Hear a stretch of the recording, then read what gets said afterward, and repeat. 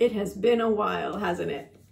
But I'm back and I'm in a new bathroom. You may uh, recognize most of the same things on the shelves in this bathroom that I had on my shelves in my last bathroom. It's been about a year, I think, since my last video here on YouTube and I've missed doing it. Um, but you know, life just gets busy and I had all these other things come up that's kept, that have kept me away. But this pandemic has me back in front of my bathroom mirror, talking to you, showcasing um, all of my favorite products from the world of green beauty. So uh, what's been really cool is over the last year, a lot of green beauty brands have gotten their hands on new formulas, uh, maybe even new formulators. I don't know, but now we have all these really great active ingredients that are keeping products on our faces in place longer. They are giving us more bold pigment. Um, it's really exciting. So I thought that it would be cool for me to do a, a, a comeback video um, showcasing one of the brands that has really seen me through my career. I've talked to you about them plenty, um, but they recently did a reformulation and a repackaging launch. Um, so do you know who I'm talking about yet? Vapour. Uh, I love this brand and I love the founders. They're both awesome, really thoughtful, dedicated women who um, really do their do an amazing job to get texture and color and longevity right. And they've got some new launches, lipstick, I mean, so many new things that are really exciting. So if you knew Vapour before and loved them, you might miss some of their, um, their products, but you'll definitely come to love these. So let's get started. Um, their brand new um, illuminating primer. So I'm going to start with this. Okay, so in full disclosure, you know, as a makeup artist, I have never wanted to talk about a product unless I've tried it on a variety of skin tones and types.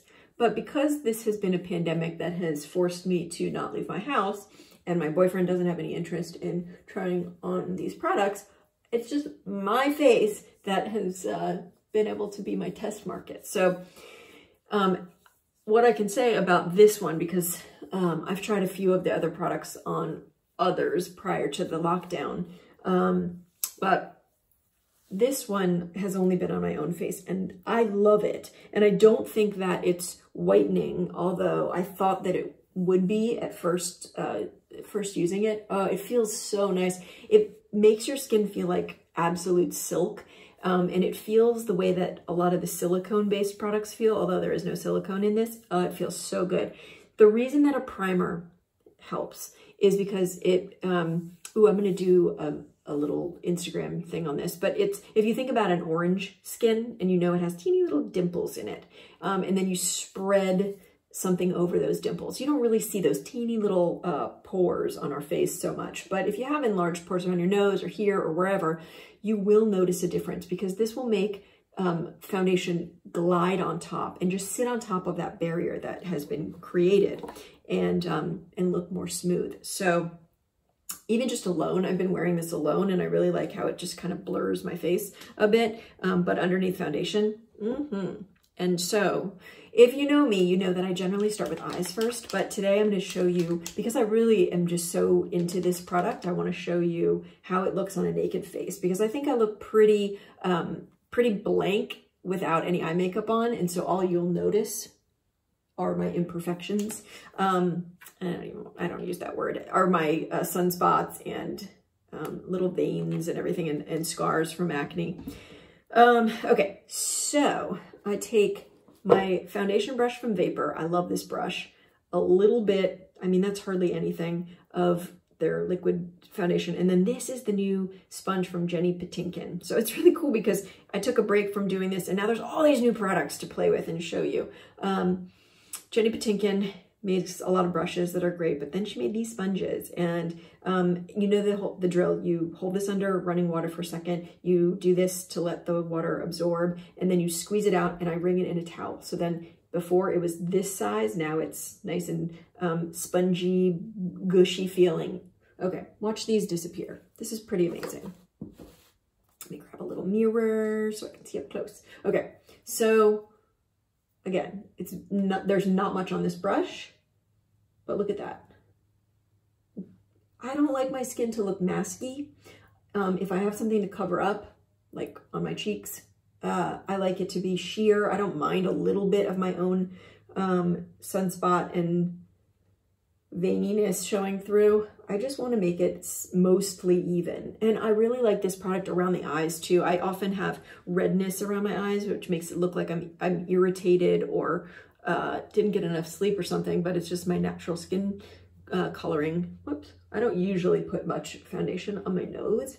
Um, I like to leave most, as much skin naked as possible so that when we're seeing each other in natural lighting, I look just as good as I do on uh, Instagram or on one of these because it's there's such a marked difference between makeup for Instagram, which has filters to blur out all of the cakiness um, and an incorrect um, color non-matching that happens. I, I just, I feel like that's so not real life. So when you're watching a lot of those tutorials, it's fun, it's escapism. And boy, oh boy, some of those artists are incredible and really can uh, like redraw a face on your, your face or on their own face to create this like incredible look.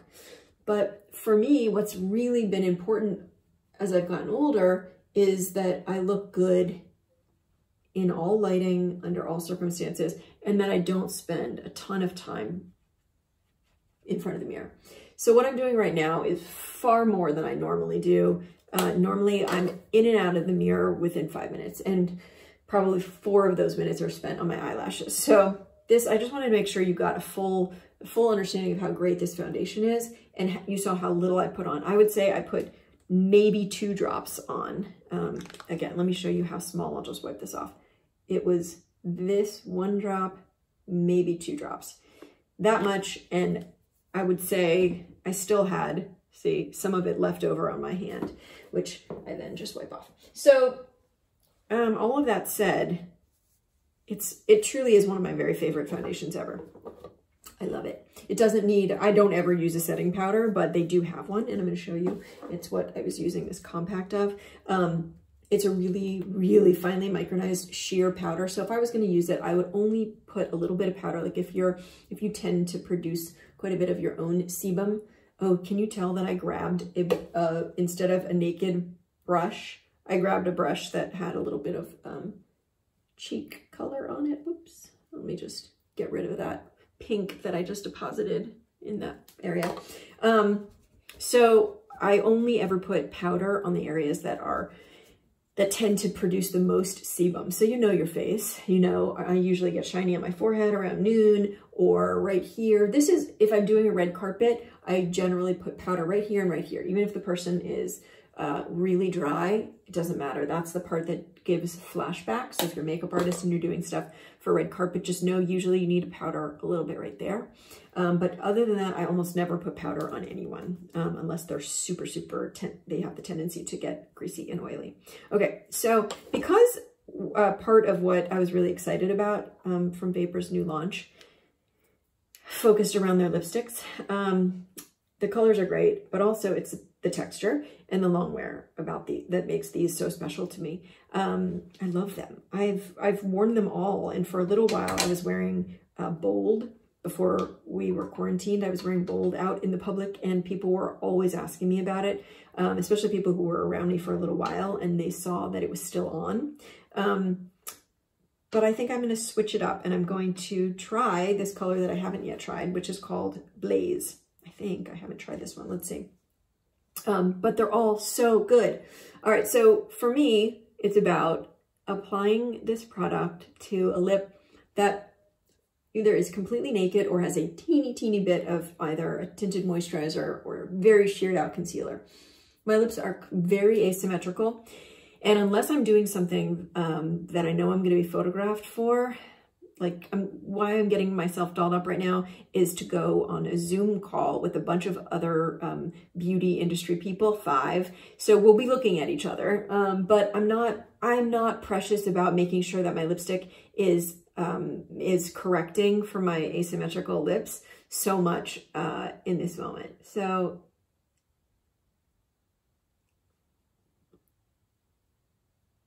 So that said, I'm basically just telling you, please forgive me and don't think less of me if I can't make my lips look symmetrical. They require quite a bit of focus on my part. Um, I've noticed as I've gotten older, as I know is true for so many of us, um, the asymmetry of our faces is uh, becomes much more pronounced. And as things, muscles, and uh, every part underneath our skin begins to shift and change with gravity. Um, wow, I love that color.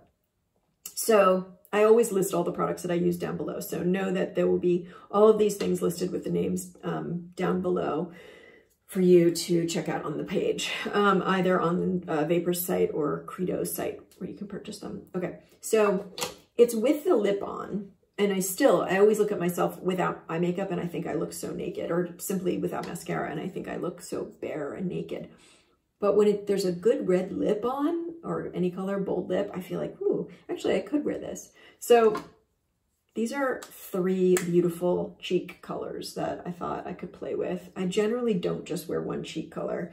Um, but I think in this moment, these two kind of make up this one a bit. I'll try this one. It has it has quite a bit of shimmer in it. This is Smitten, and I think it, it could be good for with a number of different uh, lip colors. But so I like a lot of cheek. If you've seen my tutorials before, I generally go for it with cheek.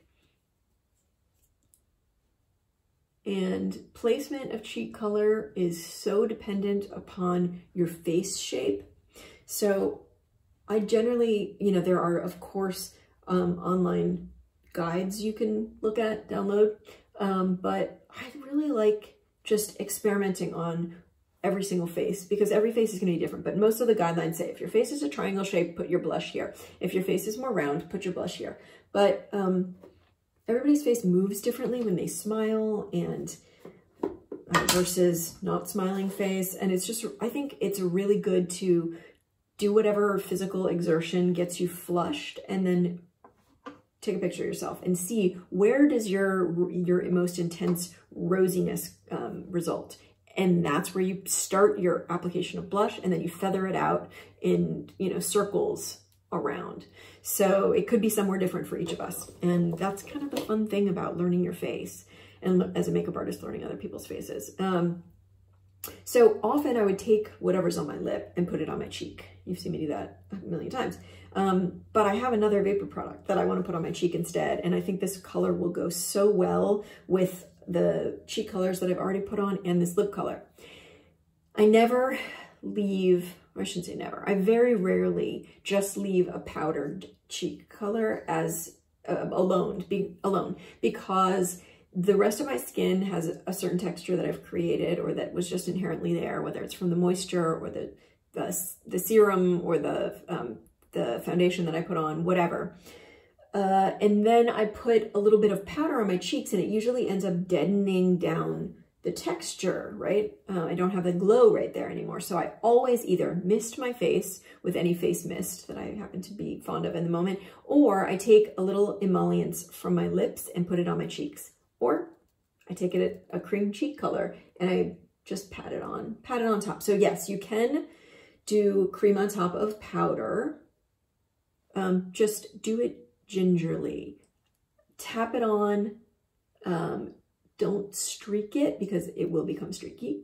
And remember that you can build. It's more difficult to take away, but you can absolutely build. So little, little taps by little taps. And then you can go back in with your blender and just make sure that the edges are kind of seamless. That's it. Okay, so then let's just let's just check out um, a little a little something on the eyes so that I don't look so naked. Um, you know, if you've watched any of my videos, that curling lashes is my thing. So you start at the root, right? Start at the root.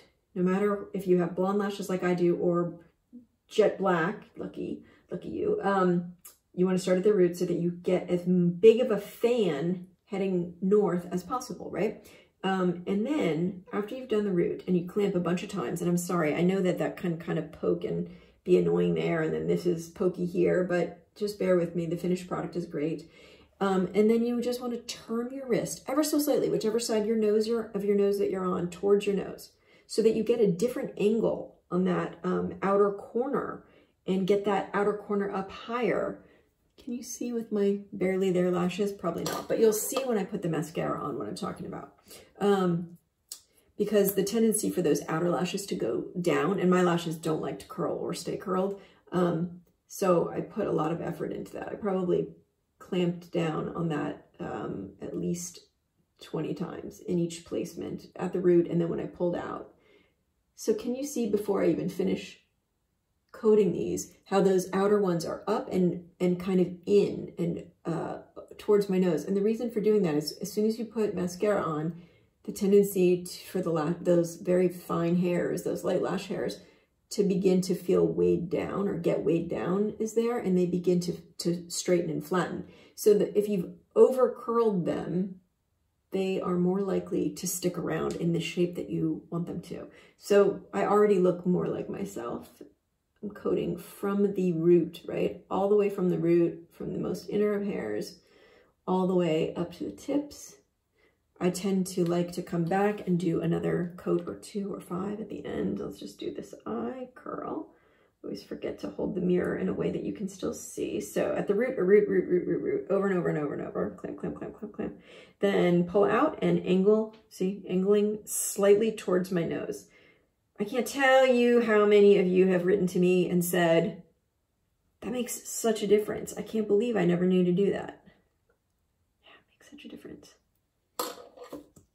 I'm not a fan of the heated lash curler. I'm not a fan of having your lashes permed so much.